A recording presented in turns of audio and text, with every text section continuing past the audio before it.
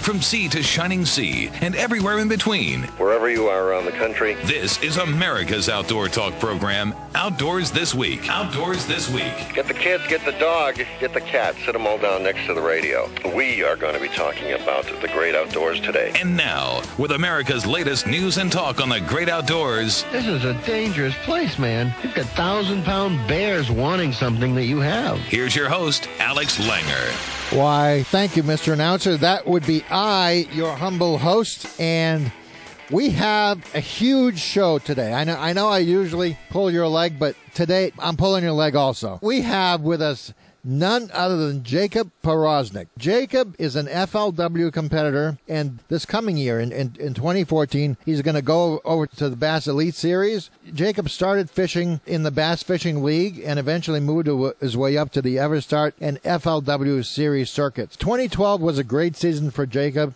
He finished runner up behind his good friend Dave Dudley in the FLW Tour, and he notched three top 10 victories, including in 2012, including a second place finish at Lake Champlain, which is his favorite lake, and he is currently fishing the FLW Tour. But next year, he'll be fishing the BASS Elite Series. I'm going to ask Jacob everything about his style of fishing and how he got to be so good on the FLW Tour. And then, of course, we have all of our usual suspects. We have Ron Lindner from Lindner's Angling Edge. Then we have Sammy Lee from from lines. That's right. Thank you.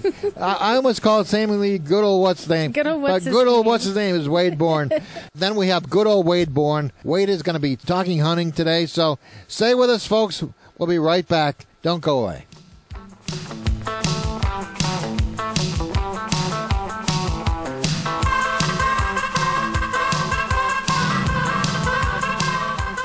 Of America's favorite outdoor talk program, Outdoors This Week, after these messages.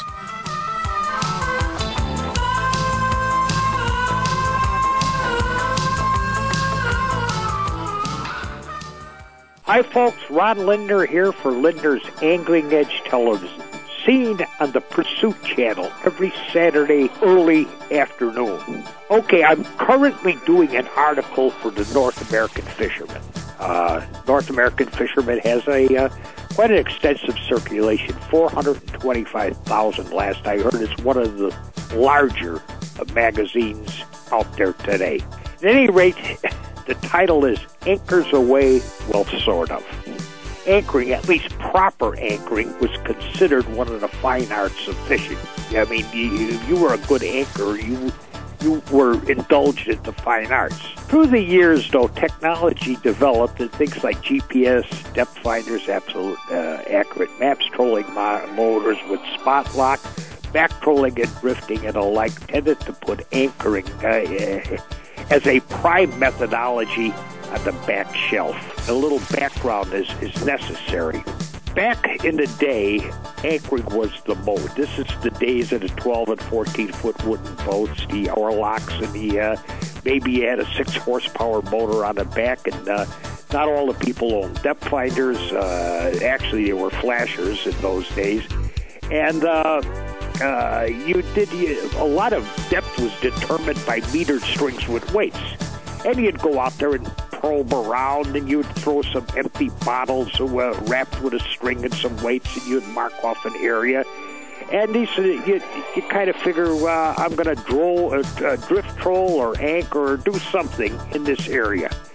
And uh, you might uh, throw a split shot with a night crawler around, or you might uh, uh, you might use a bomber with a minnow on it, or, or maybe cast an area with a plug or a spoon. Uh, these various methods were were in use. Over the years, however, uh, bass anglers in particular kind of stopped anchoring. They uh, they'd still do. Now, the shiner fishermen with guides, which would pull up in Florida, you see them. They would they, pull up there, they anchor down, and they put these corks out with these shiners, and they float them in against uh, heavy cover. Uh, they still do that today, but by and large, most bass fishermen they keep uh, they, they keep untied, as it were. They figure that with the machinery they have today, that they can hover in spots long enough uh, to to properly fish it down. And in the walleye world, uh, they they would anchor uh, in areas and fish with leeches. This was they still do that till today. Uh, anchoring as a system has not went away, but it has markedly decreased or, or, or got until recently with the innovation of talons and and power poles, which you see on the back these little towers you see on the backs of these boats. Anchoring is coming back into its own. Uh, Minn Kota's Talon, you can now anchor, or, or what we call pin anchor, in 12 foot of water with the press of a button. Bink, it sound, you, you want to go leave, boop, you press the button, ah, it's all the way up, and it does hold you, even in a pretty darn good wind. And uh, so, uh, and by the way, I hear they're they're even working on. No, I shouldn't even say. Yeah, I'll say it anyway. They're working on 16 foot models as as we speak. Uh, they got ways of doing this. So with these new anchors, uh, talons, and these power poles, anchoring is coming back to its own. These guys are, particularly bass fishermen, they're they're, they're positioning themselves uh, between maybe a very complicated dock layout. You know, there's a lot of number of docks, and they got all kinds of offshoots and stuff. They'll position themselves. They'll they'll they'll pull down. We call it taloning down, talon down, and and from this position, lock themselves down and really cast out. You know, shoot it underneath the uh, the dock itself, shoot it under the boat, shoot it under the side of the uh, the canopy. You know that kind of stuff. So anchoring more, and oh, they're also anchoring in stump fields. And my son Jimmy just came from a, a tournament up in Leech Lake where they got these big rice beds, and he says these guys were taloning down constantly out in these big rice beds, and they were flipping uh, the, the, the real heavy weight weighted jigs, uh, punch crawling they call it. You know, uh, uh, ounce and a half sinker with a six or four odd or five odd or six odd hook, heavy duty w- with a craw on the back, and 65 pound test braid and a, a seven and a half foot flipping stick with the seven to one gear ratio. They'll flip that thing out there three and a half, four feet of water. Bass picks it up. I don't care how big he is. They rip jaws. My son just got through doing this. He came back and he didn't he didn't understand something. I says I fish a lot down in Okeechobee. I practice with some of the best punch crawlers in the world. These guys tape their wrists because when you set the hook on a five or six pound bass in four foot of water with 65 pound test braid, there's it, it, there's no give. So you better have your wrists just like a fighter. So what they do is they get the tape. You you buy the tape. You know that basketball players and a lot of uh, uh, athletes use. And what they're doing is they're wrapping their wrists. They're using this in conjunction with taloning down anchoring. So anchoring is back, by the way. So the long lost art, they're starting to rediscover something that everybody used to do years ago. With that, well, see you later, folks. Larry Whiteley and the Outdoor World Report are proudly brought to you by the brand new Rototail, the world's first and only plastic worm with a soft rotating spinner tail. The patented tail generates unbelievable vibration that you and the fish can actually feel just like a spinnerbait or a crankbait. See it at rototail.com. That's rototail.com. Dove tips coming up on Bass Pro Shops Outdoor World. Have you ever wanted to disappear into the woods? Have you ever wanted to tie your own flies, but never taken the time? Have you ever wanted to speak turkey? Then you belong at Bass Pro Shops. Every week, we offer free skills workshops to help you get started. See the store or go to BassPro.com for more information. Bass Pro Shops. Your adventure starts here. When you spot a dove, don't raise your gun until the bird is within shooting range. If you pull your shotgun up too early, the bird might see the movement and flare out of range. Shooting glasses with yellow lenses can help you to spot doves on cloudy days because they give greater contrast, making the doves stand out. In bright sun, polarized sunglasses are good because they cut the glare. Don't think all of the best shooting on a dove hunt will occur early or in the final hour or two of daylight. Throughout the afternoon, there will often be flurries of dove activity as groups of birds fly in and out of fields for five to ten minutes. Now, you don't have to build or put up a blind or find a well hidden spot for dove hunting, but do stand or sit next to some form of cover. Remember, folks, there are two ways of being rich One is to have all you want, the other is to be satisfied with what you have. Get out and enjoy all the great outdoors has to offer. I'm Larry Whiteley, and this is Bass Pro Shops Outdoor World. Thanks a lot, Larry. My guest for this hour is Jacob Powroznik. Now, Jacob is an FLW series competitor. He has won nearly a million dollars in career winnings. He started his bass fishing in the Bass Fishing League and eventually moved his way up through the Everstart and FLW series. In 2012 was a stellar season for Jacob. He finished runner-up behind his good friend Dave Dudley in the point standings. He has notched three top 10 victories in 2012, including a second place finish in Lake Champlain, and he's currently fishing the FLW Tour again this year. First of all, Jacob, welcome to the show. Thank you. Thank you. Now, you mentioned Dave Dudley quite a bit. What is it about Dave Dudley that you admire? Uh, just his, uh, I guess his capability just to uh, adjust during, you know, during the day. You know, you know, we have three days of practice, so we kind of go out and find the fish, kind of what they're doing, and then, you know, kind of when the tournament gets there, you know, things change and stuff like that, and that's where a lot of people have difficulties doing that. And he just, he just fishes by instinct, you know, and just kind of goes, goes, goes throughout the day, you know, and just kind of reads kind of what's going on, you know, and, and just during to weather change and different patterns and stuff that's going on in the lake or river that we're fishing. The fact that he's flexible and he kind of learns from what's happening on a lake in a particular situation is, is what you admire about him? Yes, yes, and, and just you know, just his ability to, to be able to read stuff. You know, I mean, he's he's taught me a whole lot about fishing. You know, me and him saltwater fish a lot during the winter, and you know, in in my opinion, just fishing a lot helps you with with all kinds of things. You know, it's making decisions and adjustments, even even though it's saltwater, it's still making decisions. Where do you fish saltwater and what kind of species do you go for? Well, we fish out in the ocean a lot of times for stripers during the wintertime, you know, just casting to them with uh, like swim baits and sassy shads and stuff like that. What state, Jacob? Oh, that's in Virginia. And it's in Virginia and North Carolina right there, kind of like on the border. Uh, we call it like Nag's Head is where we go out of. You go to Nags Head, North Carolina. That's kind of the southern end of the stripers. Yes, sir. And they go from there north. Stripers are very big up in Massachusetts and, Cape Cod, where I'm familiar with. Stripers are, in, in some ways, they're- they're a lot like largemouths, aren't they? Yeah, yeah. You know, they they they they uh, they feed on bait. You know, so you always got to kind of find the bait, and you know the wind direction plays a deal of whether they're close to the beach or if they're off the beach and, and stuff like that. So you know, it, it's it's kind of all about you know a fish is a fish in my opinion. Right. You know, he he's going to kind of do the same things other fish do. They most of them relate around structure sometimes, or they're always around bait. Right. So you're either kind of fishing the same thing if you're bass fishing or crab fishing or striper fishing or you know red drum fishing or something like that. There there's got to be some kind of key element there that you have to find.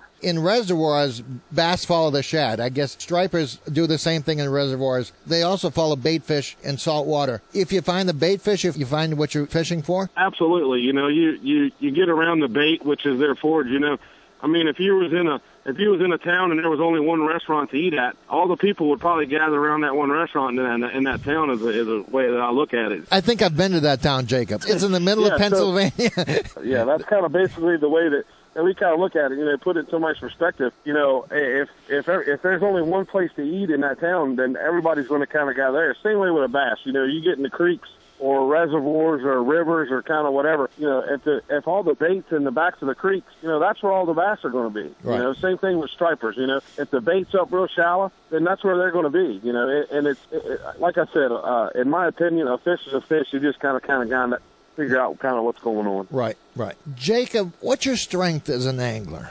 when I first started fishing, you know, I was a very, I mean, I, most of the time I fished shallow. And in the last couple of years, you know, we've been to lakes and stuff where we had to learn how to fish out deep and, and, and read fish out there deep around deep structure and, and ledges and drops and, you know, creek channel bends and stuff like that. So, you, you know, it's, it's, it's been pretty, uh, you know, it, I, I would say, I guess I've been pretty versatile the last couple of years, um, you know, to learn, learn about that stuff and everything. It used to be guys were spinnerbait mechanics or worm mechanics or whatever. You can't just do one thing anymore and be competitive, can you? No, you know, but we we just fished. Uh, you know, we fished down at the Red River for the FLW championship, and then as soon as I left there, I went straight to um, went straight to uh, Lake Erie, and we were out there at Lake Erie drop shotting six pound test line for four or five pound smallmouth and you know twenty to thirty foot of water. So you know, it's a big difference of fishing from six inches of water to twenty to five or thirty foot. So you, you got to kind of be versatile. Jacob, we got to take a break, and folks, we- we'll be right back after this. Don't go away. We'll be right back with the Jacob Powroznik. Stay with us. Hey, what do you think you're doing? Don't change that dial. Alex will be right back with more of Outdoors This Week after these messages. Gel coated sparkle, she's my waterproof Caroline.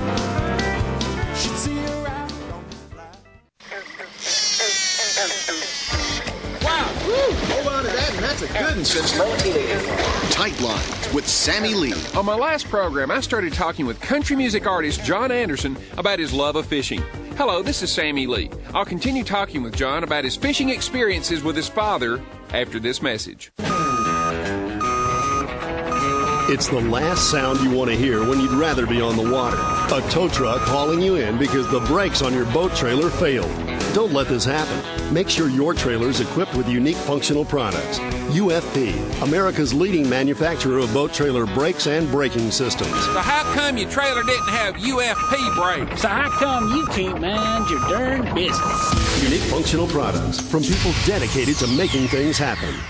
Don't ask her on a straight tequila night. She'll start thinking about him, and she's ready to fight. Island moon, it's no wonder. I look at the things that you do. I just came home to count the memories. While talking with country music artist John Anderson, he indicated that his father had started him fishing when he was a youngster.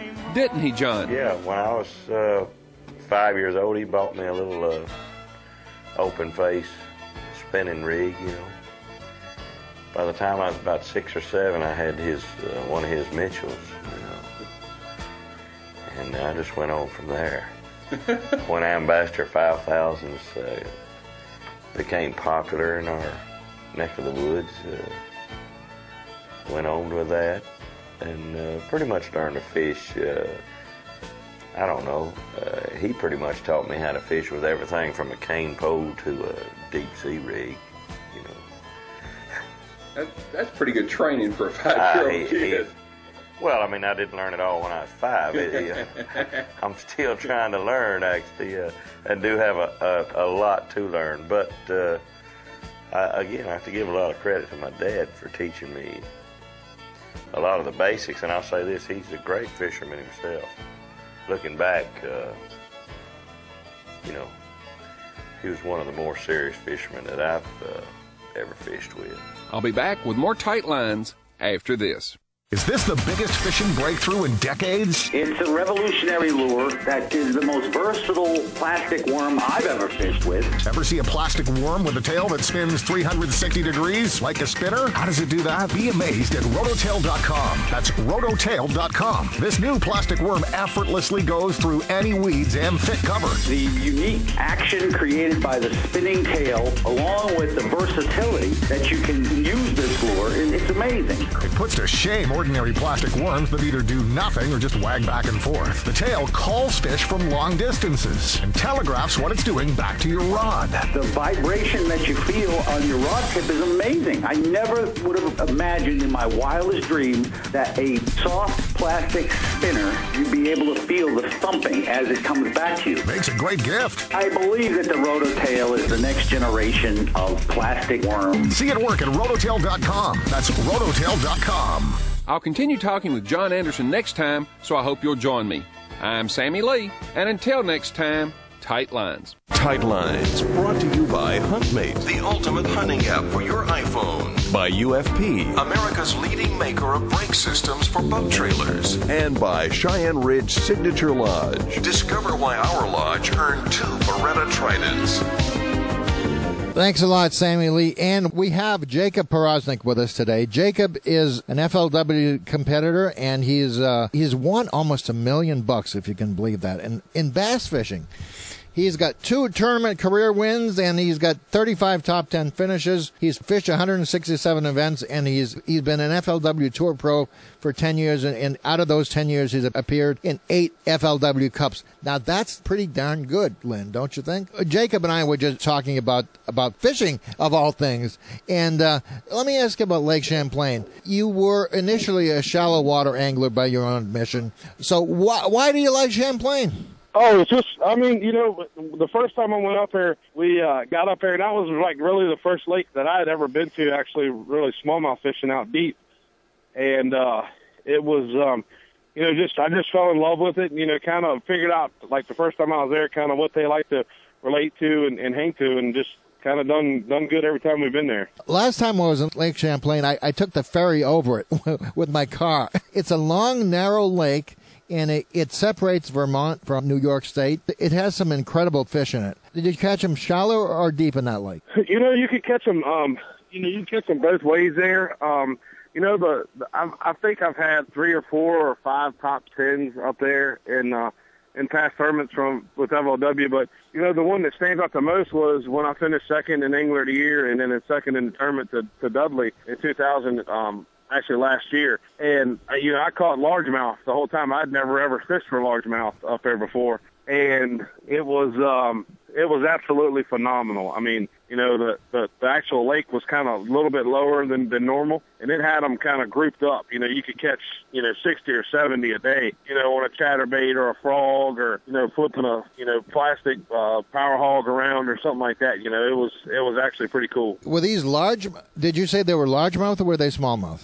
No, they were all they were all largemouth. Where in the lake did you get them? There's that northern end where there's pilings. Did you catch them in the northern end? No, no, I, I fished down. I fished on the south end. I was running about I guess it was probably like 60 miles down there to Ticonderoga is what they call it. Yeah, yeah. Um, you know, from up there at Plattsburgh, and and you, when you get down there, it just turns into like kind of big grass flats, kind of like we fish on the Potomac River. Right. So it was, you know, it was kind of like I was at home. You know. Craziest thing I've ever heard of, of happening on Lake Champlain. A, a bass boat had a cow fall into it from a steep bank. it, it actually injured the angler. There's a part of the fishing on on Champlain that made you feel at home, didn't it? Yes, yes, absolutely. You know, it was kind of like the Potomac River, you know, a lot of milfoil and stuff like that, which I'm, you know, accustomed to from fishing down there. But, you know, just for some reason, a whole lot more bass up there. right, right. Uh, take me through your techniques. What's your favorite shallow water technique? I mean, I like sight fishing. You know, when the bass are spawning, it's probably my favorite. Right. You know, um, even I mean pre-spawn, the spawn, and then right after they get done spawning. You know, because they're always shallow, and, and the big ones are always up there, and you you can actually kind of you know figure out what to catch them on. Uh, another great thing that I love besides sight fishing is, is throwing a wacky worm. You know, it's it's a it's a technique that that a lot of people have gotten away from, and man, it, it still catches the snot well, out of it. Uh, how do you fish it, a wacky worm? Do you fish it weightless, or do you fish it with a weight in front of it? Um, you can fish it either way. Um, I usually I usually fish it weightless with a uh, you know you just put like a two aught inner hook right in the middle of it. Yep. And um, you know, just kind of skipping around docks, shallow docks, and shallow bushes, and just lay downs and, and stuff like that. You know, just kind of work it out. And they, 99% of them, you actually see the bass bite it. You know, he'll come out there and get it. it it's funny. Me and Dudley always I come up with a thing.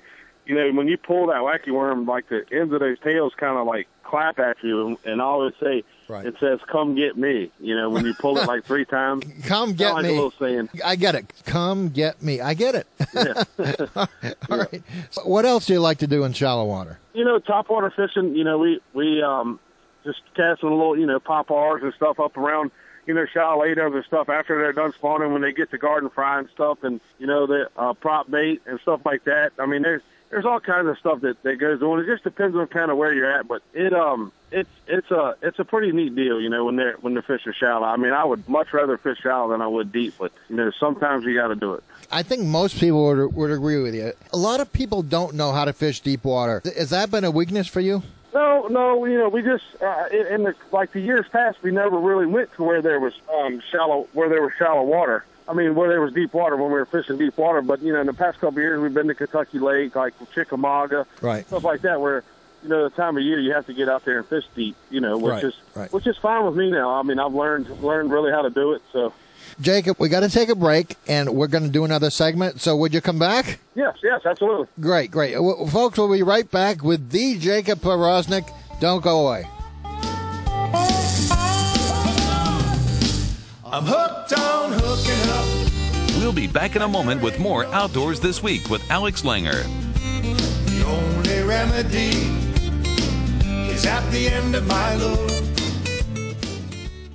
The Wade Bourne Report is brought to you by the original Alex Langer's Flying Lure. Hey, that's my lure! Hundreds of millions have been sold on TV worldwide for over two decades. It fishes itself and swims away from you on its own. Catches nearly every game fish that's ever swam. See it at flyinglure.com. That's flyinglure.com. One thing that can ruin a hunt quicker than just about anything else is getting cold. You're cold, you lose focus, you lose desire, and a lot of times you'll quit and come in early. Now, Stuart Wilson of Cabela says one main key to staying warm is regulating your body temperature by altering your headgear. I'm Wade Bourne, and this is Wired to Hunt Radio. Today, tips for keeping warm and keeping going when the temperature plummets. More Wired to Hunt Radio coming up. Hey, waterfowl hunters, if you need a shotgun for the new season, check out Mossberg's pumps and autoloaders. They come in black synthetic and camo finishes. They shoot three and three and a half inch shells. They offer great dependability and value. Mossberg is America's oldest family owned and operated firearms manufacturer. Check out Mossberg shotguns online at mossberg.com. Also, be watching for the new series of Mossberg Duck Commander shotguns later this fall. Mossberg, built rugged, proudly American. Cabela's is the world's foremost outfitter for hunting, fishing, camping, and outdoor gear. They offer more gear than anybody, best selection, prices, and quality, all backed by Cabela's legendary guarantee. Shopping with Cabela's has never been easier or more convenient. You can outfit all your needs through Cabela's catalogs, website, and their many stores. Check them out at Cabela's.com. Cabela's, the world's foremost outfitter. This is Wired to Hunt Radio. Stuart Wilson is a product manager for hunting apparel and accessories for Cabela's, and he's an expert on what it takes to keep a hunter warm and comfortable in the field. Recently, Stuart and I talked about headgear, and he said that the head is the body's thermostat. It's where the most heat can be conserved or lost, and this is why choosing the right headgear is ultimately important to a hunter's comfort. Here's Stuart with a headgear recommendation that allows hunters to conserve heat or let it escape, depending on the situation. You can buy a neck gaiter, you can buy a face mask, you can buy a, a, a beanie or a full balaclava. The biggest thing that a hunter really needs to understand is that you lose the most amount of heat through your head and you got to take care of it. So you always want to have some type of neck coverage, either through a gaiter and a minimum a beanie. If you're going in extreme cold conditions, I would definitely suggest what we call a balaclava. It gives you the best of both worlds. You can wear it, covers your full face all the way down through your neck. You're going to get great heat retention, but it also allows you the ability to adjust for conditions. You can pull the top down so it exposes the top of your head and face. You can leave it up. You can wear it in multiple positions to keep you comfortable. That's Stuart Wilson of Cabela's, and you can check out all these items Stuart mentioned on Cabela's website, Cabela's.com.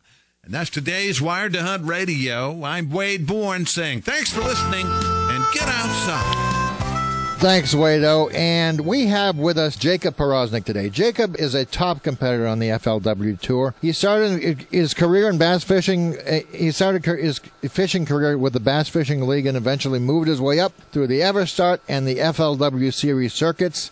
2012 was a stellar season for, Powroznik, finishing runner up behind his good friend Dave Dudley, and he has notched three top 10 victories in 2012, including a second place finish at Lake Champlain. And no, that's not a contradiction. And Jacob, uh, first of all, welcome back. And let's talk about deep water for a little bit.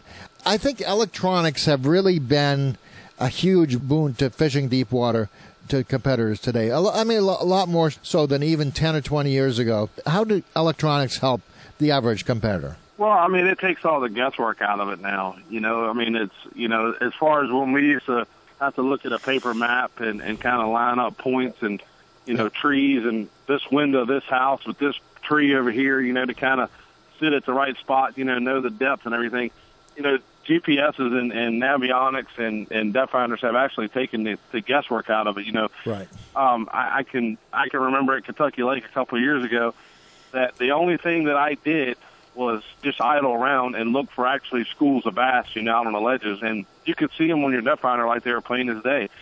And it, like I said, it took the guesswork out of it. I never made a cast hardly during practice, you know, because only thing I did was just idle around and and I keyed on, you know, my Lowrance Electronics or was it was my practice, you know, and I went back to the first school that I found the first morning of practice and caught them on every cast for about two hours. You know, there was that many bass there, and it's it's just phenomenal now. But you know, the thing is, like I said, it's it's just made it so easy for everybody to get out there to do it. It's really hard to actually find that one key spot to actually win on anymore. Right. In a way, as good as the electronics are, everybody's got them, so it's an equalizer. It's kind of like the arms race, you know. If- yeah, yeah. It's actually it's taken away. You know, a lot of guys that that really learned how to do that. You know, in in the past, you know, probably five or six years ago, that were really doing good in that. That had spent a lot of time out there fishing deep. You know, it actually killed them because you know, I mean, the the Navionics chip and Lowrance Electronics and stuff like that. I could find every hole in the lake. What is your favorite way to fish deep? And when when I mean deep, I mean like you know, twenty or thirty feet or more.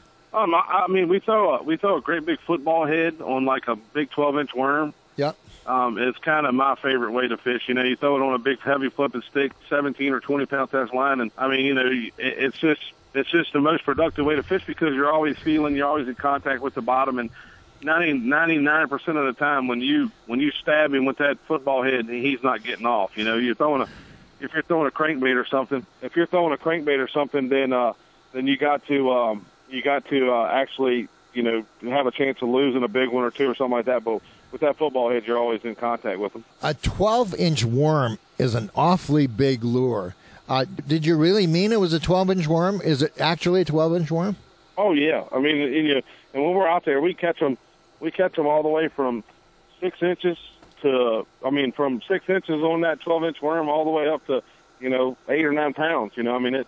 The, the little bass don't shy away from it either. You're absolutely right. A, a little bass will actually will take a worm that's longer than he is, and a lot, a lot of people don't realize that. I think a lot of really big fish come in the bigger baits as well, don't you? Yeah, yeah. I, I mean, I agree. Um, I agree 100. percent But you know, I've caught some some really big bass on a little baby brush hog and stuff where you would think that that you know catching catching uh you know trying to catch a little one but actually catch big ones. So Right. you know that sometimes that works, sometimes it doesn't. What are your plans this fall? Are you got anything planned?